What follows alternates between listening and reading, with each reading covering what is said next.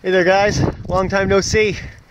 Uh, there's been a, quite a few reasons for my absence. Uh, the first of which you actually may have seen a video on my Jeep engine having a really, really bad knock. Which actually ended up turning out to be a rod knock, so the engine needed to be replaced. The other reason, as you can see here, is the amount of snow, which is just unbelievable right now. We've gotten about four feet of snow in the past week. Um, right here, you are actually looking at the Mud Kings tractor. It is indeed under there somewhere. Yep, there's the seat. Um, pretty much everything is buried. Uh, my lawnmower graveyard is right over there, buried. This is my trailer, completely buried. And my shop is almost buried. Um, it's There's snow about halfway up the wall now. But real quick, back to the Jeep motor. Um, that thing set me back quite a bit in many ways, uh, financially, and just with work and videos and everything, it really, really sucked. Uh, the vehicle was down for about a month in total. Uh, it took me a little while to source a motor, the exact motor for my truck, and I had to do some engine top swapping and stuff, which I'll tell you about in just a second. And actually, here's some pictures of the process. I didn't videotape any of the process because it was absolutely miserable. I did the whole engine swap in my driveway in January, which is just the most horrible way to do anything. It was extremely freaking cold the whole time.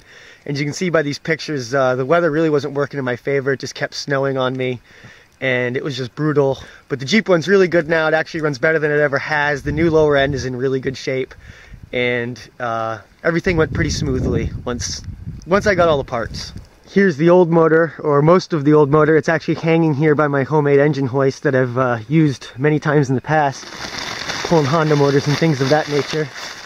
But yeah, the motor's sitting out here totally exposed. There's no oil pan. I took the head off. It's no big deal because uh, this thing's pretty much grenaded. I don't know if you can see this, but right there, that's the number one piston connecting rod. And the bearing just spun right out of there. Here's some pictures of the uh, chunks of bearing that were left in the bottom of my oil pan. It just looked like chunks of uh, beer can all crinkled up and thrown in the bottom. So really, other than that connecting rod and the crankshaft, the rest of the motor is actually probably fairly good. I did lose a lot of oil pressure right at the end, so probably all the bearings in the cam are shot. So that block is probably probably going to go to the scrap heap unless I can sell it to somebody that really wants it. Ugh, so here in the garage you can see the blowing drifting snow is actually blown through my doors and covered a lot of my stuff in here which kind of sucks. Snowblower's been getting its workout this year I tell you what this thing's been running really good. 10 horsepower old school Tecumseh engine. Uh, it's got a legit uh, 5 speed gearbox in it. The impeller in this thing is 14 inches. I've showed you guys this snowblower before, but this thing is, is probably big enough to pass your firstborn child. Uh, dual augers and everything. It's uh, it is in fact a tank. Now inside the garage here, nothing's really changed since the last uh, build video here on the uh, Redneck side-by-side. -side. You can see that tons of snow has blown in underneath the garage door. And it's just kind of invaded the floor space here in my garage. Pretty much the same idea over here you can see this is a window in my garage and this is the level of the snow. So it's uh, well this window on the outside is probably three feet off the ground. Plus we got about another foot here. So there's about four feet of snow leaned up against this garage right now and you can see some of the snow was even kind enough to blow in through the crack in the very bottom.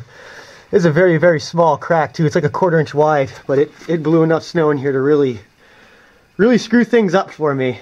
I wasn't expecting this at all Here's a look out the other window. There might be even more snow up against this side. You can just see the snow just blowing and drifting off the top of the shed and just... This is winter in Maine, folks.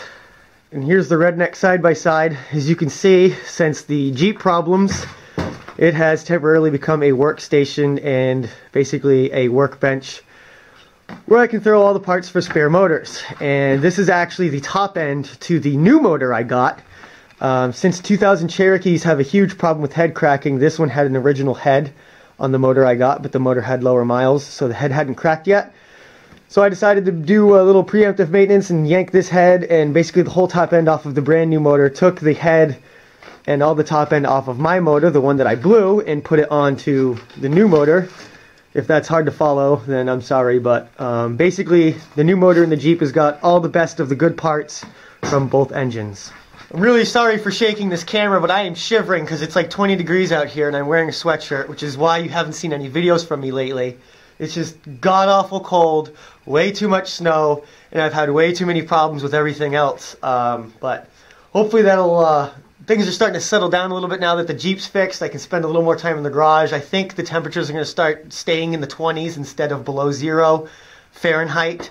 Um, so that'll be nice. So hopefully once I get these engine parts uh, cleaned up, I'm going to sell some of this stuff. Maybe the intake manifold, the exhaust manifold. I could probably sell this head because it's uncracked. I'm going to get rid of all this crap so I can start working on the redneck side-by-side -side again. Since this project with the Jeep uh, set me back probably 600 bucks, uh, budget's gotten really tight on the redneck side-by-side. -side. Uh, I don't think I'm going to be able to do the motor I wanted to do anymore, which is really, really disappointing to me. Um, but I do have another idea in mind, which will cost a little less, but I still think we'll be okay because, uh, like I said, this isn't going to be a fast build. So I don't think I'm going to be able to do snowmobile engine, ATV engine, street bike engine like everyone wants to see. But um, it'll still be mobile, and I think it'll still have enough power to do what we want it to do, and even some trail riding too. So that'll all be really good.